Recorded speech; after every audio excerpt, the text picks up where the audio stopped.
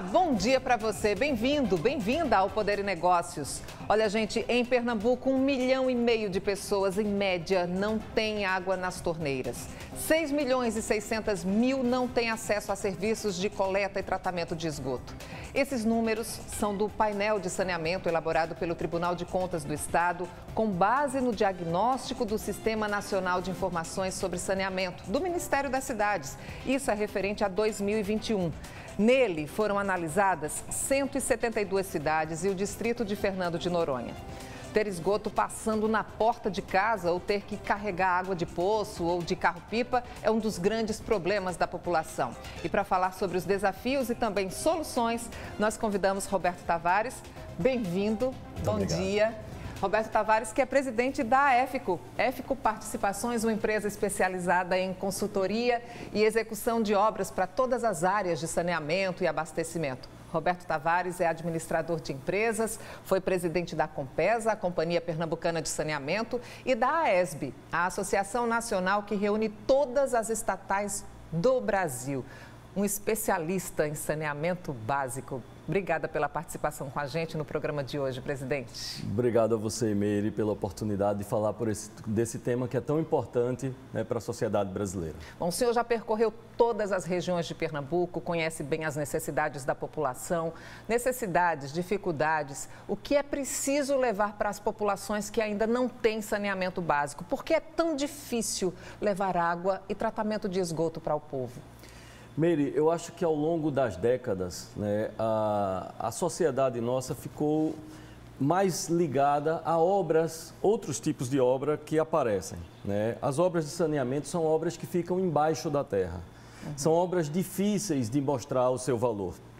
Então, o resultado é que nós temos um déficit no Brasil inteiro. Né? Todas as regiões brasileiras né, tem um déficit importante de água, água potável chegando na casa das pessoas e principalmente de esgotamento sanitário. Onde... Quando a gente olha essas imagens, dá uma dor no coração porque a gente se coloca no lugar de quem está carente, de quem precisa ser visto, de quem precisa de políticas públicas mais eficazes, né, presidente? É importante a gente destacar, gente, que saneamento básico é composto de abastecimento de água, água potável, aquela que é boa para beber, esgotamento sanitário, limpeza urbana, manejo de resíduos sólidos, drenagem manejo das águas pluviais urbanas, ou seja, água da chuva mesmo. E é muito triste a gente percorrer as comunidades e ver os moradores sofrendo com imagens como essas, presidente, que são imagens recentes Exatamente. E essas imagens, elas mostram a desigualdade social que existe no Brasil.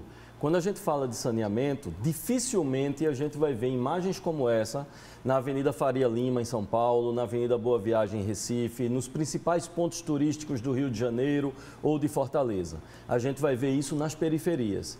E justamente esse fosso da desigualdade social começa a se ampliar, porque essas pessoas são as que mais vão usar o sistema de saúde. Então, há doenças que já deveriam estar erradicadas e continuam presentes na nossa sociedade pela falta de saneamento básico. Ou seja, é uma prioridade. A gente falou aí sobre um milhão e meio de pessoas sem água nas torneiras aqui em Pernambuco, 6 milhões e 600 mil sem tratamento de esgoto adequado. Gente, e ainda tem outro grave problema que é o desperdício. No Recife, por exemplo, de acordo com o painel de saneamento, 50,83%, ou seja, mais da metade da água que deveria chegar às torneiras, se perdem pelo caminho. Por que essa realidade, presidente, está tão abaixo da média nacional? É, a média nacional, ela, ela é uma média, de, por exemplo, com relação a perdas de água, em torno de 40%. Ou seja, explicar isso para a sociedade que de tudo que você produz, você perde 40%, ou seja, de cada 100 que você produz, você perde 40. E essa perca não necessariamente é vazamento, pode ser não faturar aquilo que você produziu e com isso você tira recursos que poderiam estar sendo investidos para quem mais precisa. Então, essa é uma realidade brasileira de décadas de falta de investimento no setor. Então, ou seja, a engenharia está dominada, nós temos profissionais extremamente competentes nas companhias, mas a gente precisa né, de segurança jurídica para que esse investimento aconteça. Pois é, e tem um outro estudo aí feito pelo Tribunal de Contas né, que apontou que somente 40 municípios pernambucanos haviam elaborado aquele plano municipal de saneamento básico, que é uma exigência legal né, para ter acesso a recursos públicos federais nessa área. É, o que, é que deve ter um plano de saneamento? É, Meire, em primeiro lugar, é importante que num plano de saneamento, primeiro ele precisa existir. Segundo, precisa dizer quais as responsabilidades de cada ator. Porque geralmente se cobra, e aí eu passei 14 anos numa companhia, e se cobra única e exclusivamente dela a responsabilidade né, pela execução do saneamento. Né? Mas são muitos atores, ou seja, o dono, que é o acionista, que em geral é o governo do estado, né? a prefeitura, que é o município, que é o poder concedente, ou seja, a Constituição deu a ele a tarefa de fazer o saneamento e ele pode delegar. Então, geralmente, ele delega ou uma empresa privada, que é minoria no Brasil, ou a estatal, que pertence ao Estado. Então, um plano de saneamento ele precisa delimitar essas responsabilidades, ele precisa ver para onde aquele município está crescendo, quais são as suas principais carências, como a população vai crescer, por exemplo, nós tivemos um censo agora feito no ano passado. Então esse censo, ele aponta como cresceu nos últimos 10 anos e ele diz como vai crescer.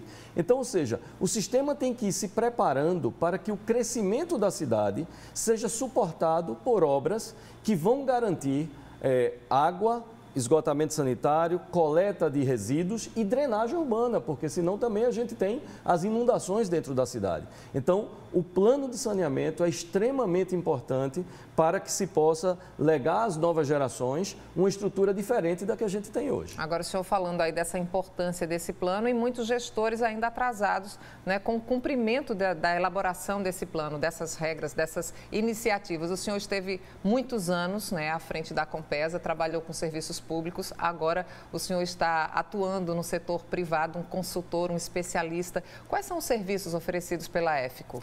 É, a EFICO é uma empresa, esse nome EFICO vem de eficiência, né? é, uma, é uma empresa focada em eficiência operacional. É, pelo fato de ter passado muito tempo no setor público, eu sei que o setor público tem algumas amarras, tem muitas dificuldades e não entra só no bom. Ou seja, é uma, uma estatal que cuida de saneamento, ela tem que fazer abastecimento de água em Boa Viagem, mas ela tem que fazer em Algodões, que é um distritozinho lá de Sertânia.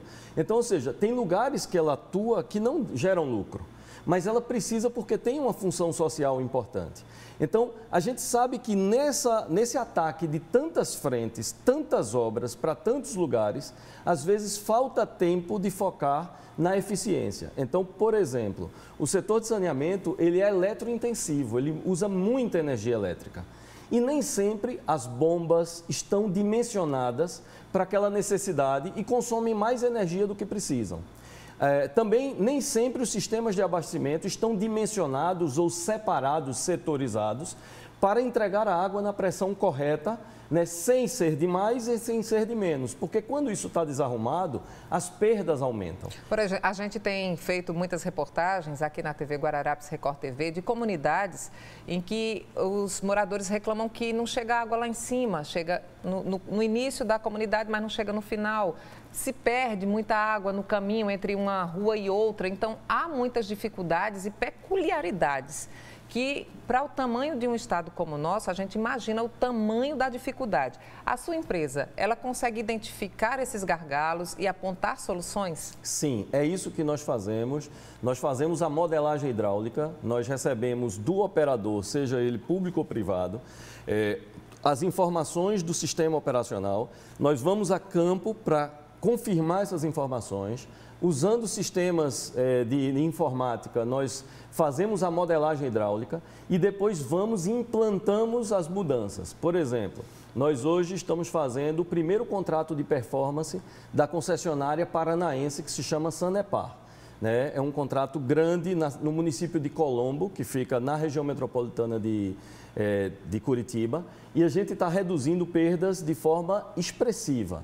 Agora, para isso, nós tivemos que colocar válvulas redutoras de pressão, nós tivemos que subdividir a cidade em vários setores de abastecimento, justamente para que na área alta a gente possa colocar água com mais pressão para chegar na área alta, mas essa sobrepressão ela não prejudique a área, a área baixa. Então a gente precisa separar esses setores de abastecimento para que cada um receba na pressão que deve receber. Nós hoje estamos executando no Rio de Janeiro. Rio de Janeiro, o nosso cliente é um cliente privado, que é a Iguá.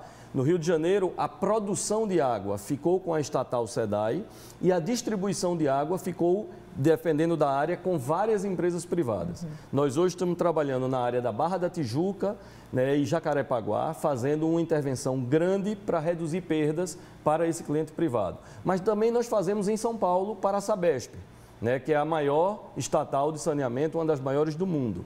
Fazemos também em Recife, em João Pessoa, em Campina Grande, ou seja, nós hoje atuamos em todo o Brasil.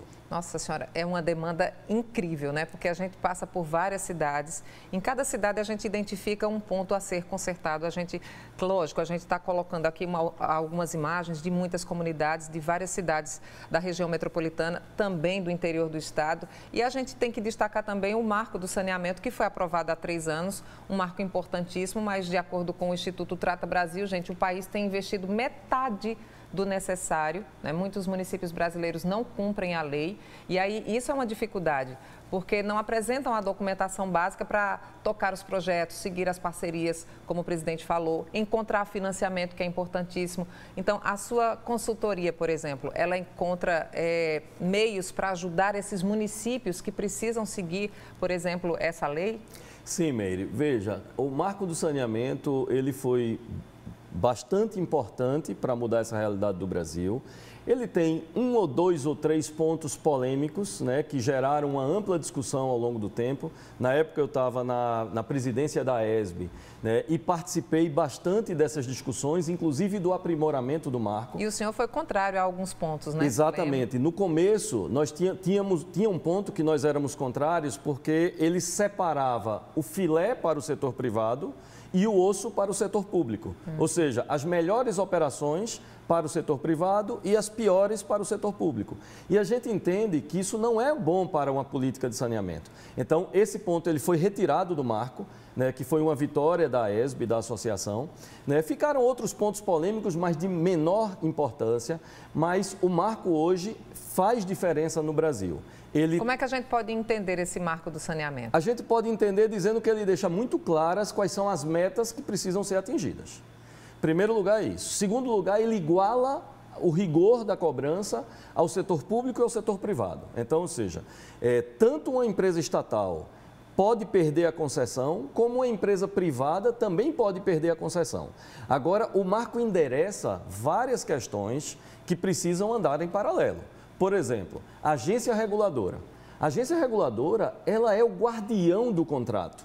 Se o contrato diz que tem metas que precisam ser cumpridas para prestar um melhor serviço à sociedade, e se ninguém fiscaliza, independente de ser estatal ou privada, o, o, cidadão vai sair prejudicado. A quem cabe a fiscalização? A agência reguladora, ou uhum. seja, cada estado tem, aqui tem a ARP, a ARP. Né? em São Paulo tem a CESP, em cada estado tem as suas agências reguladoras, há municípios que têm, há comitê de bacias, que é um, um conjunto de municípios que também fazem a sua agência reguladora, mas, ou seja, a sociedade precisa exigir que alguém fiscalize muito de perto para que esses investimentos aconteçam e chegue em quem mais precisa. Meire, é, saneamento dialoga diretamente com desigualdade social, porque se na casa do rico faltar água, ele compra um carro-pipa e resolve o seu problema, ou ele fura um poço e resolve o seu problema. Uhum. Mas a população mais pobre não tem esse acesso. Então, precisa que o poder público faça o seu papel de fiscalizar. O presidente, a gente pode dizer que um dos objetivos do marco é tornar o setor mais competitivo, por exemplo, com capacidade de investimento, abrindo espaço para a atuação de concessionárias privadas? Sim, mas eu acho que isso não é o fator mais importante. Uhum. Porque essa competição, essa chamada competição, ela vai acontecer uma vez se assina um contrato e se fica com esse contrato 35 anos. Então, não é isso que eu acho mais importante no marco. O que eu acho mais importante no marco é, primeiro, trazer um pouco de segurança jurídica. Ou seja, ninguém vai colocar dinheiro num lugar que você não tem certeza das regras.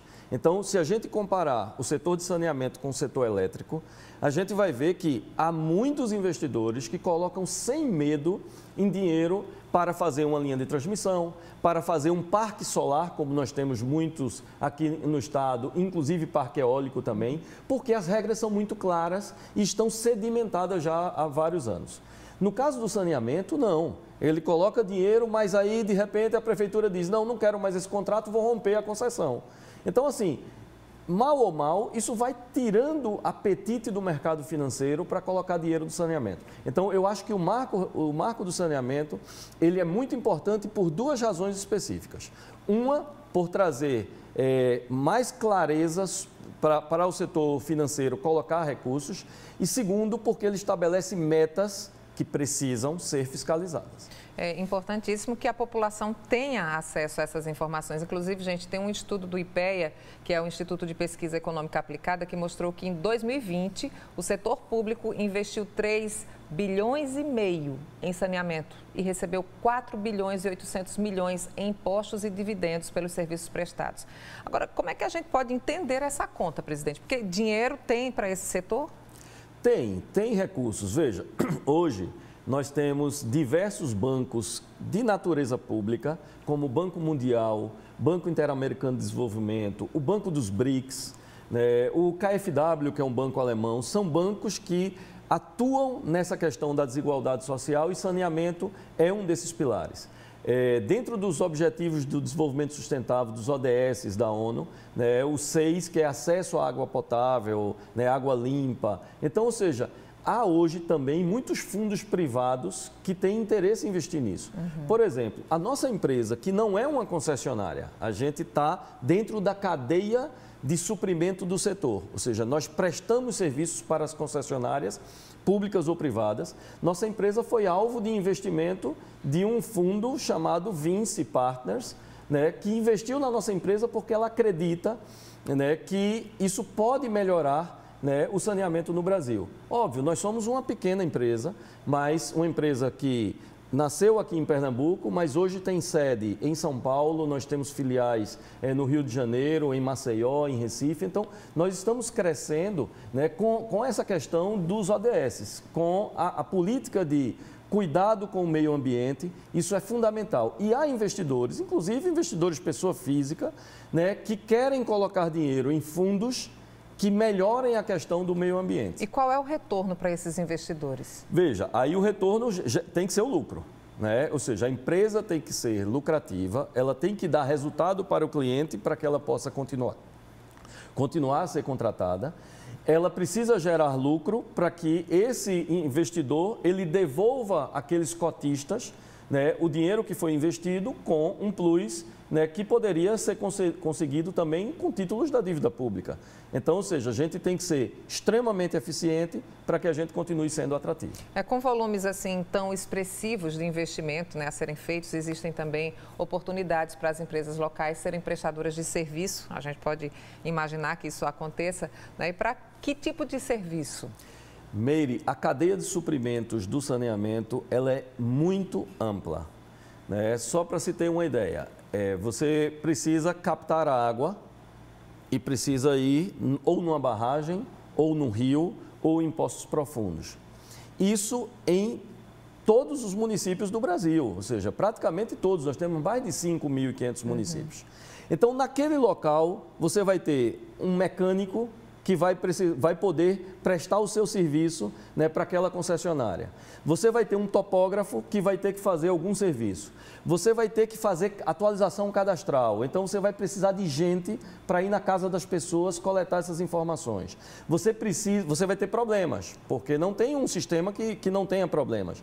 Então você vai ter rompimento de tubulação, você vai ter uma obra de saneamento que, que prejudica o dia a dia a mobilidade da cidade. Então você vai precisar de assistentes sociais para estar tá passando naquelas casas. Você precisa de químicos, você precisa de biólogos.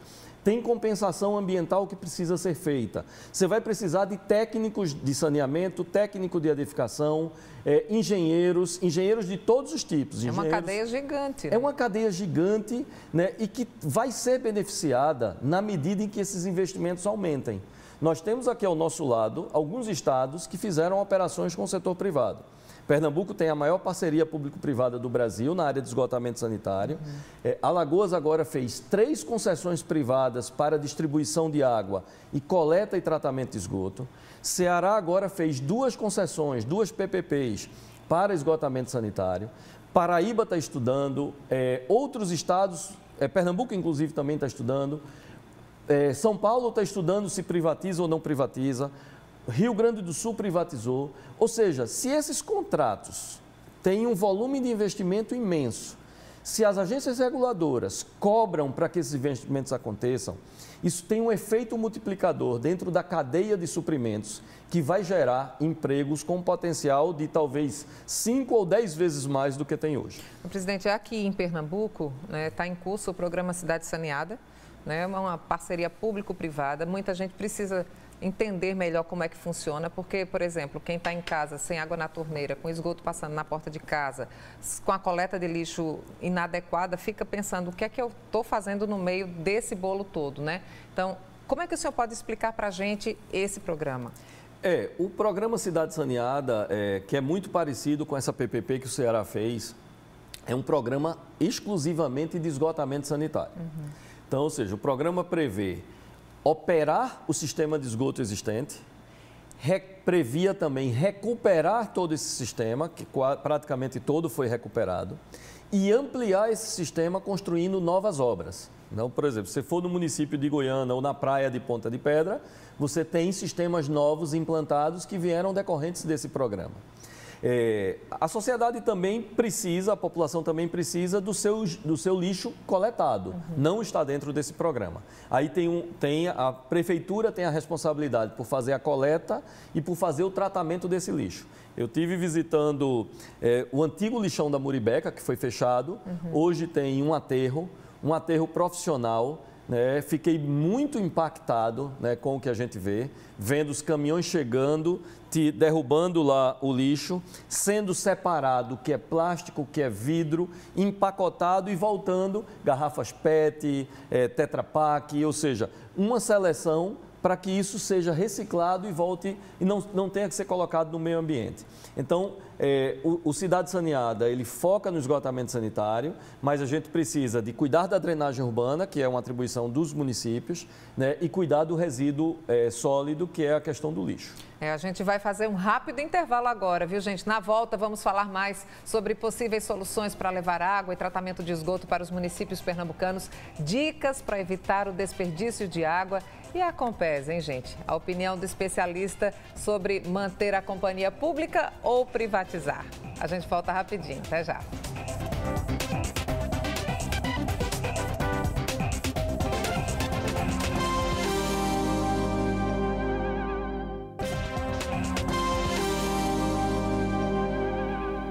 O Poder e Negócios está de volta para falar sobre soluções que podem levar água para as torneiras do povo, esgotamento sanitário, tratamento do esgoto, limpeza urbana também.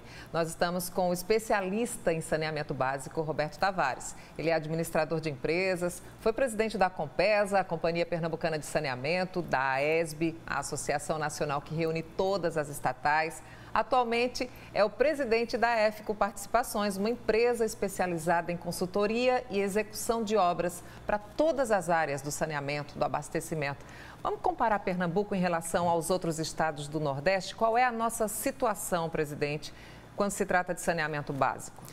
Em primeiro lugar, Pernambuco tem um dos piores balanços hídricos do Brasil. Ou seja, o que é que é o balanço hídrico? É a quantidade de água versus quantidade de população. Uhum. Então, a nossa água está muito concentrada na região metropolitana. Né? Nós não temos rios perenes espalhados pelo estado. E, e aí eh, tem que transpor muitos quilômetros para fazer com que essa água chegue nas cidades. É, por outro lado, nós temos o privilégio de ter dois canais da transposição cortando o estado de Pernambuco. Nós temos o eixo norte, que corta o estado é, nas imediações do município de Salgueiro. Né? E nós temos o eixo leste, que passa entre Sertânia e Arco Verde. Né? Desses, desses canais da transposição, saem um conjunto de adutoras que levam essas, são tubulações grandes, que levam essa água para as cidades. Então, do ponto de vista de balanço hídrico, Pernambuco tem uma situação muito difícil, mas tem um planejamento muito robusto né, que vem sendo executado há vários anos né, e continua sendo executado pela atual gestão. Então, é importante que isso continue né, para que a gente possa ter o mínimo de segurança hídrica. Que experiências positivas de outros lugares, né? eu falo de estados, mas também a gente pode buscar fora do Brasil. Que experiências positivas a gente poderia absorver aqui para Pernambuco para melhorar a situação das pessoas que não têm acesso direto a saneamento? É, eu acho que tem um ponto que a gente precisa começar a discutir é, aqui no Brasil, que é o empoderamento municipal. Eu acho que cada prefeito ele precisa fazer o seu papel, que é que a gente falou um pouco no primeiro bloco com relação ao plano de saneamento. Independente de ter ou não ter plano de saneamento, o prefeito precisa assumir a liderança né, de cobrar que as obras que estão planejadas sejam executadas. Não só cobrar, como apoiar, participar junto, né? porque isso, isso tira é, uma quantidade de gente muito grande né, dos postos de saúde. Então, eu acho que esse é um fator. Outro fator é que a gente precisa trazer mais investimento e o setor público não tem dinheiro suficiente para fazer todo o volume de obras no prazo que está estabelecido no marco do saneamento, que é 2033. Ou seja, faltam apenas 10 anos para fazer mais do que foi feito nos últimos 30 ou 40 anos. Então, de fato, a gente precisa atrair capital privado para reforçar esse plano de investimento. Quando o senhor fala a gente, é o governo estadual? Não, eu estou falando a, a, gente que eu digo como sociedade brasileira. Uhum. Né? Mas aí cada estado, ou seja, quem tem sua estatal precisa fazer isso. Por exemplo, no Rio Grande do Sul, o governador disse: olha, eu reconheço que eu não tenho condições de tocar com a minha empresa estatal eu vou vender minha empresa estatal e vou exigir do privado que cumpra um plano de investimento que eu sei que eu não tenho condições de fazer. Então, o senhor acredita que o caminho para melhorar a situação passa pela privatização da Compesa? Eu, pessoalmente, sou contrário à privatização da empresa como um todo. Eu acho que a empresa poderia ser dividida em duas áreas esse estudo nós começamos a fazer é, no passado, né, de, de saber se era possível separar a parte de produção da parte de distribuição. E por que digo isso? Porque as obras estruturantes da área de produção, como a adutora do Agreste, por exemplo, são muito caras para ser feita com dinheiro privado. Porque se for feita com dinheiro privado, isso vai impactar fortemente na tarifa e que vai penalizar todos os pernambucanos. Então, eu acho que obras estruturantes para estados do Nordeste, como Pernambuco, Paraíba, Ceará, Alagoas, elas poderiam continuar sendo feitas por uma empresa estatal de controle público, porque assim você pode acessar recursos do orçamento da União e fazer essas obras com dinheiro a fundo perdido, para você não ter que repassar para a tarifa. Agora, a distribuição precisa ter uma ampla discussão né, inclusive envolvendo a sociedade, de se é melhor passar isso para o setor privado, porque ele tem mais flexibilidade para atuar nisso, mas ele também precisa de uma fiscalização mais forte. É porque eu vou dizer, viu, o povo que passa o sufoco sem água na torneira, dias e dias, né, ou então que muitas vezes acorda de madrugada para pegar um pouco d'água da torneira que está pingando não sei aonde e carregar balde na cabeça. A gente vê isso, a gente mostra aqui nos nossos telejornais. É penoso, viu? E a questão de saneamento básico, gente, é tão importante que influencia todos os outros setores, né? Mexe com a economia, com a saúde, como a educação, como o senhor falou, turismo, por exemplo, a gente tem aí vários pontos turísticos, né? Qual o impacto né, que a falta de investimento pode trazer, por exemplo, para as nossas praias, para os turistas que chegam para visitar o nosso estado? É um impacto extremamente duro, pesado. Né? Nós temos um boom é, comercial, ou seja, imobiliário em algumas praias é, do, do, Nordeste, como um todo, né? e que isso, se não houver o tratamento de esgoto, isso vai poluir é, mangues, canais e vai terminar voltando para o mar. Né? E na medida em que o turista percebe que aquela água é poluída, ele vai, ele vem uma vez e não volta mais. Então, assim, o turismo hoje ele vive em cima de indicações, ele vive em cima de postagens nas redes sociais. Então, o, o, efeito devastador que tem uma postagem mostrando que uma pessoa pegou extossomose, por exemplo, num, num, num mangue ou no mar né, contaminado, isso é muito ruim para o turismo. Então, eu acho que a gente precisa, quando eu falo de empoderamento municipal, não é só do poder público, uhum. é também da sociedade civil organizada. O setor hoteleiro, por exemplo, precisa se juntar para exigir em todo o Nordeste, nós temos uma costa belíssima, Sim. em todo o Nordeste que seja. E a gente vive mostrando aqui praias com lixo, com esgoto, as pessoas que não são educadas para também preservar esse, esse espaço público não é? E o que, é que a gente faz para evitar o desperdício, presidente? Educação ambiental, né? A gente precisa começar, a, eu costumava dizer na, nas palestras que a gente fazia, né, que dizia da nossa geração de 50 para cima, eu não acredito mais. Mas eu acredito muito né, nessa geração que está vindo aí, que ainda tem seus 8, 10, 15 anos, né, que a gente pode conquistar essa, essa geração que está vindo para que ela possa ser mais sustentável.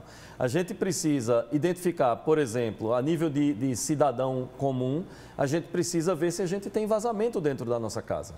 Não adianta ficar só falando, reclamando do vazamento que a gente vê na rua, quando tem aquela descarga que está minando ali o dia inteiro. Às vezes é uma pequena regulagem, às vezes é trocar uma boia. Então, ou seja, nós precisamos começar a dar o exemplo. O óleo de cozinha, que muita gente frita coxinha ou frita um peixe e derrama ali no ralo da pia, aquilo vai para o sistema de esgotamento sanitário e vai petrificar, prejudicando o sistema. Então, a gente tem que começar dentro da nossa casa. Bom, essas são lições que a gente vai levar para a nossa vida, vai perpetuar para as próximas gerações, porque a gente quer um mundo melhor. Na verdade, é isso, né? Presidente, a gente está encerrando o senhor vai continuar na iniciativa privada ou tem vontade de voltar para a iniciativa pública? Não, já passei mais de 30 anos no setor público, agora eu vou seguir minha carreira no setor privado. Presidente, muito obrigada viu, pela participação aqui no Poder e Negócios e por essa aula né, de meio ambiente e preservação. Obrigada mesmo. Obrigado a você, estamos sempre à disposição. Bom dia, boa semana e assim a gente se despede marcando um novo encontro para o próximo domingo às 10 horas da manhã. Tchau, tchau. Até...